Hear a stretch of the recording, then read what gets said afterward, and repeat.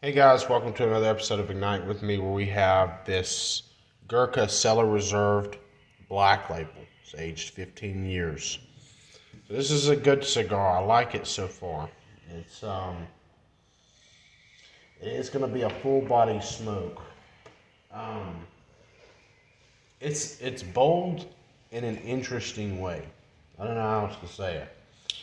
It's bold in a way that some cigars are not uh, which I appreciate some kind of difference in some of the things I'm smoking.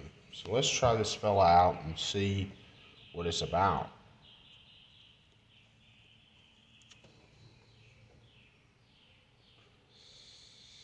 So we got some spices here. Kind of salty.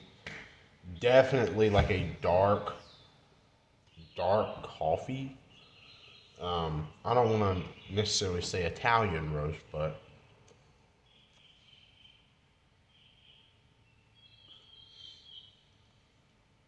there's some kind of coffee taste there. There's leather for sure. There's leather taste. It's all kind of ratcheted up in terms of boldness it's different than a lot of other cigars with those taste notes.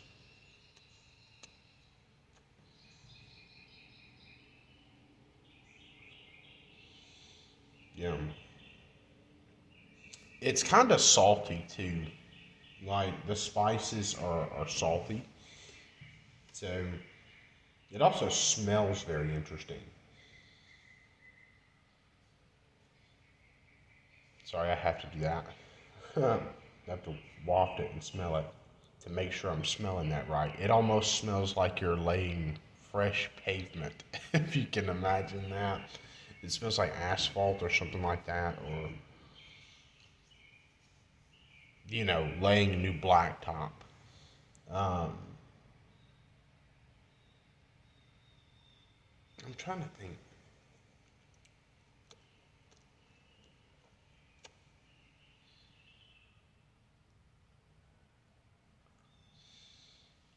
Maybe some slight earthy notes. I feel like the earthy notes, though, personally, are outclassed by everything else. It's salty, predominantly with the the coffee and the leather taste notes. It's kind of interesting. Overall, I say that this is a very good smoke. It's very peculiar too, but not in a bad way. It's it stands out. I like that.